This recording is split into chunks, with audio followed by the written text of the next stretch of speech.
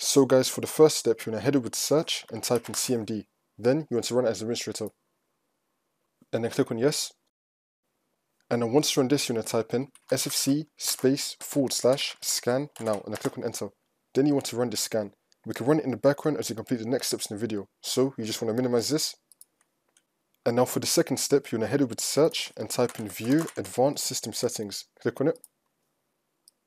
And then once you run this under performance, you want to click on settings. And now you're going to click on the advanced tab. And then once you run this under virtual memory, you're going to click on change. And now this will come up. And then once you're on this, you want to make sure you have automatically manage paging file size for all drives selected. So you want to tick this. Make sure that's been ticked and then click on OK. It might ask you to restart your computer. Do not restart it yet. Do not restart it yet to complete the next steps in the video. So click on OK again. OK again. And OK again. Click on restart later. And now for the third step, you want to head back into CMD. Your SFC scan now command should now be completed. If it's not completed, just wait for it to be completed. Now you're going to type in chkdsk space full slash f space full slash r. Click on enter. Wait for this to load. And then once this comes up, you're going to type in y and then click on enter.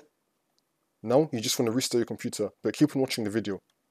And now we're just going to restart computer, but keep on watching the video. So restart computer, keep on watching. And now this will come up. To skip this check and press any key, do not press any key. Do not press any key. Let all the seconds load in now it's going to be running this check-in. You want to run this, and now after you complete this, it will then take you back into Windows, and then the problem should be fixed.